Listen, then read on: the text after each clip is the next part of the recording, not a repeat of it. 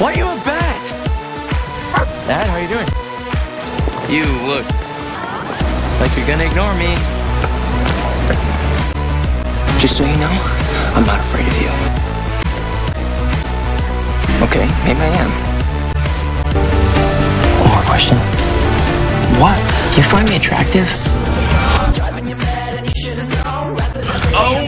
God. Fact, I think if I wanted to, I could probably drag your little werewolf ass out into the middle of the road and leave you for dead.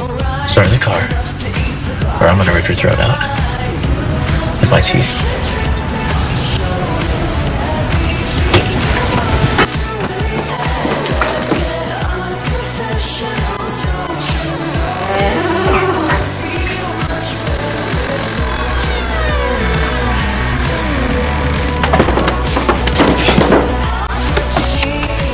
Who's he again?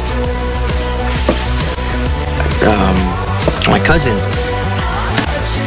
Miguel. By the way, one more thing. Yeah. God, what the hell? You know what that was for. Go.